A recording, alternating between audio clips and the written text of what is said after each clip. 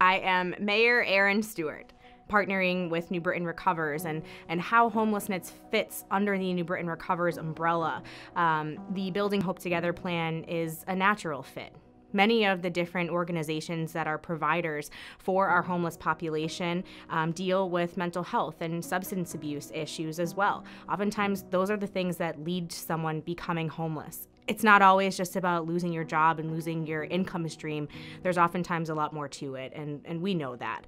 Um, but the City of New Britain has done incredible work partnering with our nonprofit organizations and our service providers and the hospital and our, our police department and fire departments to be able to um, provide these resources to our community, to people who need it most. And that's why New Britain Recovers is, is going to be so unique in its approach because it really is all encompassing. Everyone gets service under one umbrella. A lot of the different providers and really a lot of the same people are part of these same groups and they're coming to the task force meetings and they're they're doing the the same work but it's for three different initiatives. So it really was a no-brainer to bring all three initiatives together and put them underneath one umbrella in New Britain Recovers. But we just had to think a little bit more about what made most sense and figure out where those initiatives could all live together.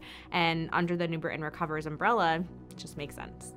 It definitely is a source of pride for me uh, to see my vision come to life like this and to see people uh, feel confident in, in its direction too. And knowing that they, they all want to be a part of truly transforming our community um, means the world to me as the mayor. New Britain helps, New Britain heals, New Britain prevents, New Britain recovers.